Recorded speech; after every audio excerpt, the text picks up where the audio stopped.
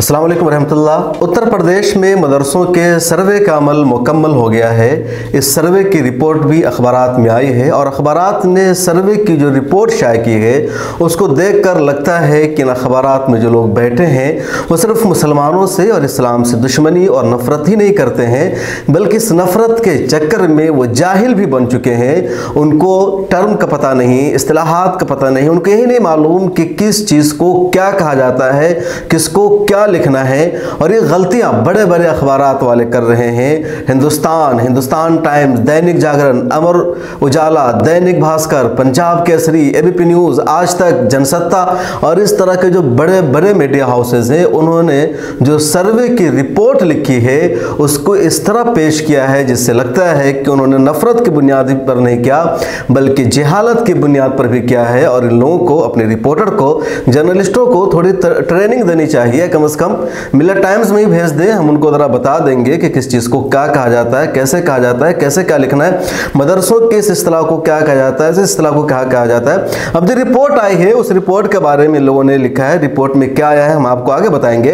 उस रिपोर्ट को इन लोगों ने लिखा कि मदरसों का सर्वे का अमल मुकम्मल हो गया और इस सर्वे में हैरान कर देने वाला, चौंकाने वाला खुलासा हुआ है इंकशाफ हुआ है। और वो सबसे बड़ा इंकशाफ ये है, दारुल उलूम देवबंद। मज़ाहिर समेत उत्तर प्रदेश में सात हज़ार मदरसे गैर कानूनी तौर पर चल रहे हैं, गैर मान्यता प्राप्त हैं।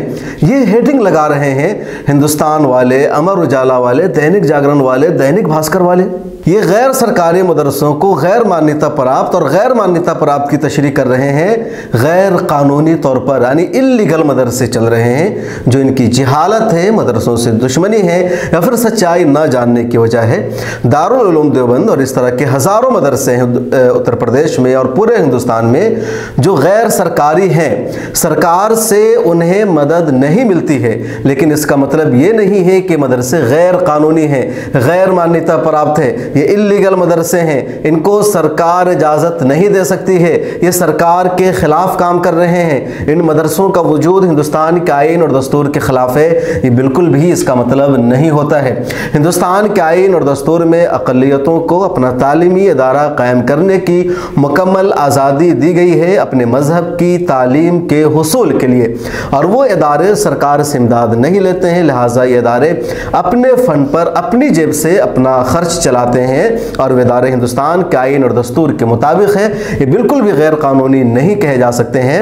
और अब तो ज़्यादातर ऐसे प्राइवेट मदरसे किसी न किसी एन जी ओ के तहत चलते हैं, ट्रस्ट के तहत या सोसाइटी के तहत चलते हैं और ट्रस्ट और सोसाइटी का रजिस्ट्रेशन होता है, इंदराज होता है और जब ट्रस्ट और सोसाइटी रजिस्टर्ड है, उसके तहत कोई इदारा चल रहा है, तब उसको ऐसे भी लीगल गैर कानूनी या गैर मान्यता प्राप्त नहीं कह सकते हैं क्योंकि जो एन है, उस कहा जाता है कि ये नॉन प्रॉफिट ऑर्गेनाइजेशन है गैर सरकारी ऑर्गेनाइजेशन है, और इसी मकसद के लिए कायम किया जाता है और हिंदुस्तान में हज़ारों नहीं, लाखों नहीं, करोड़ों ऑर्गेनाइजेशन है। आरएसएस भी एक एनजीओ है और उसका रजिस्ट्रेशन भी बहुत दिनों बाद हुआ है, पहले तो उसका रजिस्ट्रेशन भी नहीं था और ऐसी सारी एन है ट्रस्ट है सोसाइटी है, जिनके तहत कोई स्कूल कोई मदरसा या कोई और काम होता है तो इसको गैर कानूनी नहीं कहा जाता है, ना गैर मान्यता प्राप्त कहा जाता है। उत्तर प्रदेश के मदरसों के हवाले से उत्तर प्रदेश की मीडिया या पूरे मुल्क की हिंदी मीडिया ने शुरू से एक गलत असलाह कायम की, एक गलत हेडिंग लगाई।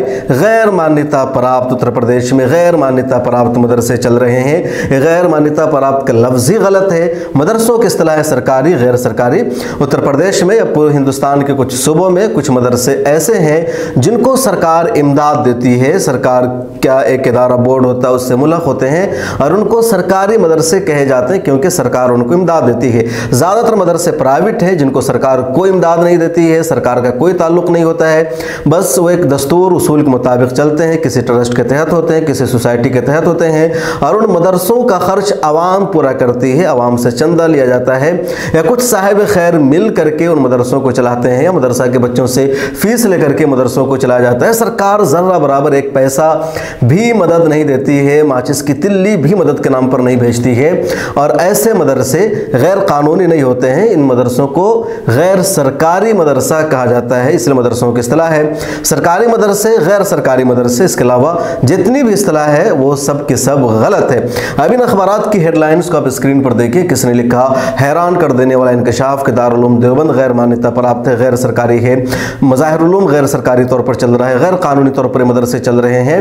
इस तरह की जो हेडलाइन लगाई गई है ये सरासर गलत है झूठ है और इन अखबार को, इन मीडिया हाउसेस को अपनी इस तरह की खबरों में कुछ तब्दीली लाने की ज़रूरत है। सही तौर पर आवाम को खबर देना इनका फ़र्ज़ बनता है। इससे गलत नज़ीर कायम होती है। खुद जब दारुल देवबंद के हवाले से खबर आई, इन मीडिया ने रिपोर्ट शाये किया कि दारुल देवबंद गैर कानूनी तौर पर चल रहा है और ये बहुत बड़ा इंकशाफ हुआ है। दैनिक भास्कर ने यह लिख दिया कि दारुल देवबंद खुद गैर कानूनी तौर पर चल रहा है और दारुल देवबंद से चार हज़ार पाँच सौ मदरसे जुड़े हुए जो रबत मदारस के तहत आते हैं, विफाकुल मदारस के तहत। तो ये सब मदरसे भी गैर कानूनी है, ऐसा कैसे हो सकता है? उसके बाद दारुल देवबंद के मोहतमी मौलाना मुफ्ती अबुलकासिम नुमानी का वजाहती बयान आया। उसमें उन्होंने कहा कि दारुल देवबंद एक प्राइवेट इदारा है, सरकार से इसको कोई मदद नहीं मिलती है, ना ये सरकार से मदद लेना चाहता है। लेकिन दारुल देवबंद सोसाइटी एक्ट के तहत रजिस्टर्ड है और हिंदुस्तान के दस्तूर के मुताबिक रजिस्टर्ड है। इसका सारी चीज़ें कानून के मुताबिक होती है और इसको गैर कानूनी नहीं कहा जा सकता है। हिंदुस्तान के आइन और दस्तूर के मुताबिक इमाम मदरसा चल रहा है। तब लोगों को पता चला कि अच्छा ये मामला है, लेकिन इसके बावजूद भी अखबार वालों ने अपनी खबरों की अपने ख़बरों की न्यूज़ में, अपने तरीके में कोई तब्दीली नहीं की है। बहरहाल, खबर यह है कि उत्तर प्रदेश में मदरसों का सर्वे का अमल मुकम्मल हो गया है। उत्तर प्रदेश में जो सर्वे हुआ है, उसमें सात हज़ार पाँच सौ मदरसों की लिस्ट सामने आई है। जो मदरसे गैर सरकारी हैं हुकूमत से इमदाद नहीं लेते हैं, इतने मदरसे चल रहे हैं। इन सात हज़ार पाँच सौ मदारस में सबसे ज़्यादा मुरादाबाद ज़िला में है, जहाँ तनहा पाँच सौ मदारस है। दूसरे नंबर पर सहारनपुर ज़िला है, जहाँ तीन सौ छः मदरसे चल रहे हैं। उसके अलावा दूसरे मदारस का नंबर आता है है। 10 सितंबर से सर्वे का सिलसिला शुरू हुआ था और 20 अक्टूबर तक जारी रहा। 15 नवंबर के बाद ऑफिशियली रिपोर्ट सबमिट की जाएगी हुकूमत की। यहाँ डीएम की तरफ़ से। फ़िलहाल ये अनऑफिशियल रिपोर्ट है। या मीडिया से बातचीत में जो हुकूमत के अफसरान ने कहा है, वो बात सामने आई है कितने मदरसे का सर्वे हुआ है। सर्वे में इतने मदरसे आए हैं। सर्वे में यही दस बारह सवाल थे कि मदरसे की ज़मीन कैसी है, मदरसों में क्या पढ़ाया जाता है, मदरसों का निज़ाम कैसे चलता है, मदरसों को सरकार से इमदाद मिलती है, नहीं मिलती है। तो इस तरह के सवाल किए गए थे और इन्हीं सवाल की रोशनी में इन मदरसों का सर्वे हुआ है। इस बीच खबर यह भी है कि कई मदरसों को नोटिस भेजा गया है, उन मदरसों को मुनहदिम भी किया गया है और वजह बताई गई है कि जो मदरसे थे, वो सरकारी ज़मीन पर चल रहे थे, इस वजह से इन मदरसों को मुनहदिम किया गया है। अभी इसकी पूरी तफसील सामने नहीं आई है बहरहाल। उत्तर प्रदेश के मदरसों के सर्वे में मीडिया को या सरकारी अफीसर को, उन तमाम लोगों को जो सर्वे करने जा रहे थे, उनको एक भी कुछ ऐसा नहीं मिला जिससे मदरसों पर गलत इल्ज़ाम लगाया जा सके, जिसके बारे में मदरसों को बदनाम किया जा सके, या मदरसों के ताल्लुक से किसी भी तरह की गलत फहमी फैला सके, कुछ भी ऐसा नहीं मिला। और मदरसे के इस ने, मदरसे के ज़िम्मेदारों ने मुकम्मल तौर पर हुकूमत को, ऑफिसर्स को कोऑपरेट किया और इस तरह सर्वे का अमल आसानी के साथ मुकम्मल हो गया। और जब इस सर्वे में कुछ भी नहीं मिला तो उन लोगों ने गैर सरकारी मदरसे को गैर कानूनी मदरसा करार दे करके एक सनसनी फैला दी कि मदरसे गैर कानूनी है। और दारुल देवबंद जैसा मदरसा भी गैर कानूनी है। आपको भी खबर मिली होगी, आपको भी लगा होगा कि ऐसा कैसे हो सकता है। दारुल देवबंद एशिया का सबसे बड़ा मदरसा, जहाँ चार हज़ार से ज़्यादा बच्चे पढ़ते हैं, जिस मदरसे को 150 साल से ज़्यादा हो चुका है। दारुल देवबंद, जिसकी हिंदुस्तान की आज़ादी में बेशुमार कुर्बानियाँ हैं, हिंदुस्तान की आज़ादी ही दारुल देवबंद की मरहून मिन्नत है। वो इदारा गैर कानूनी कैसे है? वो इदारा हिंदुस्तान के आइन के ख़िलाफ़ कैसे है? यकीनी तौर पर आपके जहन में आया होगा इन मीडिया वालों की सनसनी की वजह से तो इसको बिल्कुल निकाल दीजिए। सब झूठ है, अफवाह है, हकीकत के ख़िलाफ़ है। हिंदुस्तान के आइन में अकलीतों को तालीमी इदारा कायम करने की इजाज़त दी गई है। दारुल देवबंद भी उसी के तहत है और दारुल देवबंद सोसाइटी एक्ट के तहत भी रजिस्टर्ड है। रजिस्टर्ड मदरसा है, दारुल देवबंद का बैंक अकाउंट है, उसका आईटीआर भरा जाता है। सारी चीज़ें होती है, हुकूमत की नज़र में है, पूरा हिसाब किताब होता है। तो ज़रा बराबर भी शक की नज़र से नहीं देखा जाना चाहिए। और सिर्फ़ मुसलमानों के नहीं, बल्कि दूसरी कौमों के भी अपने मजहबी इदारे हैं और उन सब का निज़ाम चल रहा है और कोई भी सरकार से ऑफिशियल रजिस्टर्ड नहीं होता, बल्कि इसी तरह ट्रस्ट के तहत सारे मदरसे चलते हैं, फाउंडेशन के तहत चलते हैं, या किसी सोसाइटी के तहत रजिस्टर्ड होकर के चलते हैं। इस रिपोर्ट में इतना ही। आप इस बारे में क्या सोचते हैं, कमेंट सेक्शन में ज़रूर लिखेगा। सोशल मीडिया के सभी प्लेटफॉर्म पर मिलत टाइम्स को सपोर्ट कीजिए। मिलत टाइम्स को आपकी ज़रूरत है। हमारी आप माली मदद करें।